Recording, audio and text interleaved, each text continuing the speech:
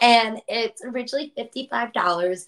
But with the live stream deal, of course, you'll get 15% off. So it'd only be $46.75. So, with that all, this is basically it's just such an easy thing that you can throw on with any outfit. It would look really cute with this shirt right now, look really cute with the white shirt, with the black shirt.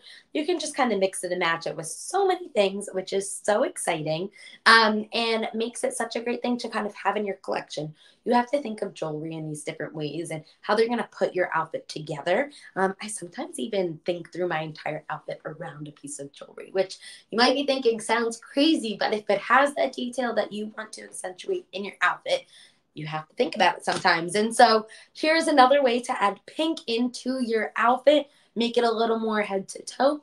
Um, imagine if this was pink right now, you would totally look at me and be like, wow, head to toe pink. And so that's what we are trying to achieve. Or if you're just looking to add in pink to your collection, this could be for you.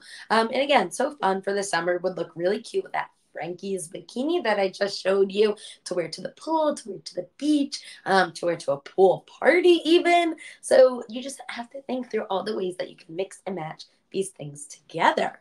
Um, fabulous.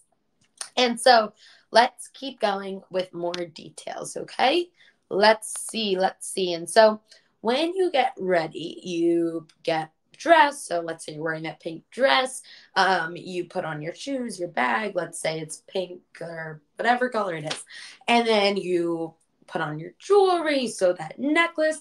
But then you also put on makeup. And that is where this Youngblood Minerals lip gloss comes in. And so I have it right here. And of course, it is pink. And so, achieving head to toe pink, you need to think through all the details I will keep saying it. And so that also goes with your makeup. And even if you're not putting on a bunch of makeup at all, I don't have anything on, um, adding on a fun lip color is so easy, not time consuming at all, and just adds a little pop of fun into